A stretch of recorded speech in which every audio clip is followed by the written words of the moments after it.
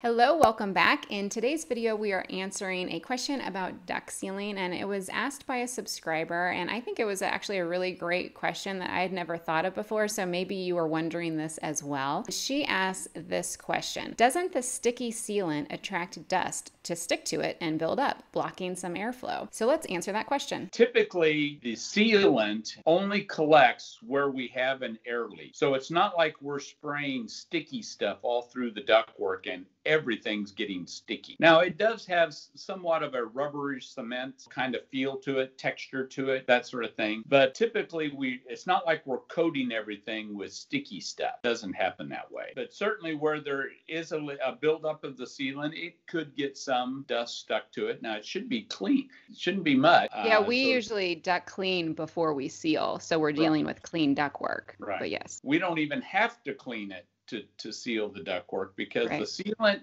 goes where the leak is. You know, it's right. not like we're coating the entire interior of your ductwork. Does it dry pretty quickly? I mean, so that that's not really a right. Because uh, I've seen it forming from the outside.